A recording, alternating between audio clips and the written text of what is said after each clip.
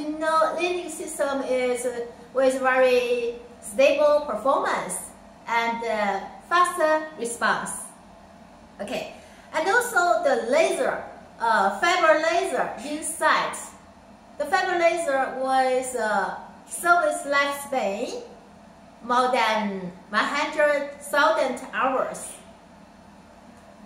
And we can see, yes, this part, yeah, we can see the machine has multi-languages, more than 10 languages. Have Chinese, English, Spanish, Arabic, Russian, Portuguese, and etc.